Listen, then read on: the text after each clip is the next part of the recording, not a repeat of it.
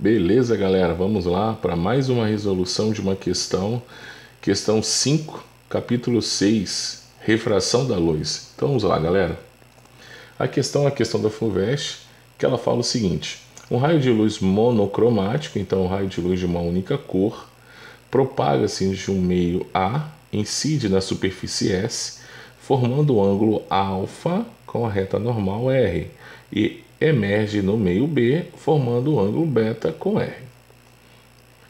Galera, olhando para o desenho aqui, o que, que nós observamos? Que o meio A e o meio B, essa reta S nada mais é do que a interface entre esses dois meios, perfeito?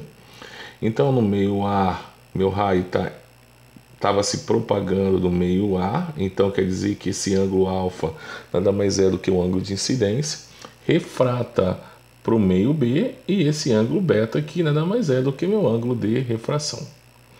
Ele diz para a gente que quando alfa vale 30, beta vale 45.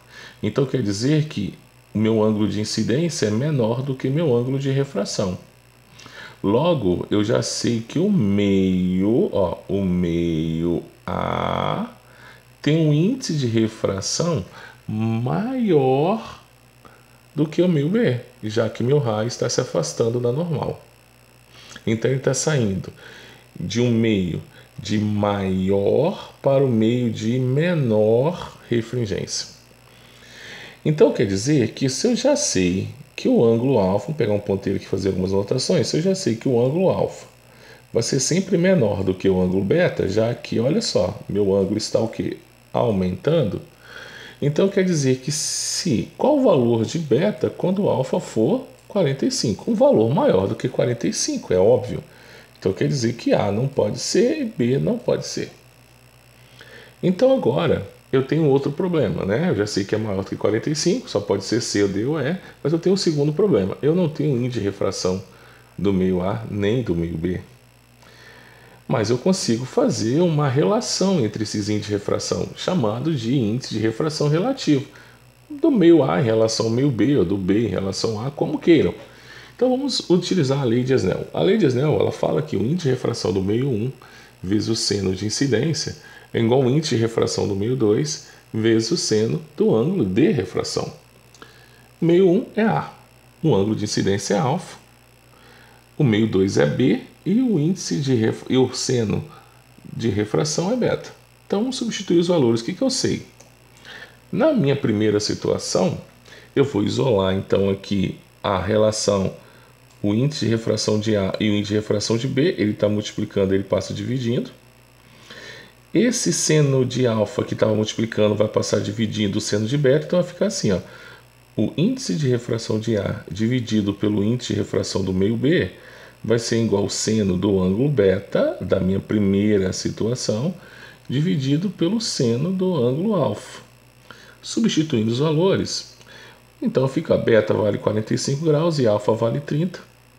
Nós sabemos que o seno de 45 é raiz de 2 sobre 2 e o seno de 30 vale 1 sobre 2. Então, vou cortar aqui, ó, corta 2 aqui, corta 2 aqui. O que, que sobrou? Raiz de 2 sobre 1, então quer dizer que o índice de refração relativo do meio A em relação ao meio B vale o quê? Raiz de 2. Não resolvi nada. Agora eu vou para a minha segunda situação. Na minha segunda situação, eu já sei que a razão índice de refração do meio A dividido pelo índice de refração do meio B vai ser igual ao seno de beta dividido pelo seno de alfa. Eu já tinha feito essa relação aqui. Só que agora eu vou substituir pelos valores da minha segunda situação, já que o ângulo alfa vale 45. Mas essa razão aqui, ó, eu já tenho, raiz de 2. Então, raiz de 2 vai ser igual ao seno de beta, que eu não tenho, dividido pelo seno de 45, que agora o alfa vale 45. Então, quer dizer que raiz de 2 vai ser igual a seno de beta dividido pela raiz de 2 sobre 2. Nós vamos multiplicar cruzado isso aqui, então quer dizer que seno de beta vai ser igual a raiz de 2 vezes raiz de 2 sobre 2. Raiz de 2 vezes raiz de 2 vão dar 2. Então 2 dividido por 2 vão dar 1. Então quer dizer que o seno de beta vale 1. Qual é o ângulo no meu primeiro quadrante que vai ter seno igual a 1? 90 graus, alternativa letra E. Beleza, galera? Com isso nós fechamos nosso capítulo 6. Beleza? Partiu capítulo 7. Valeu, fui.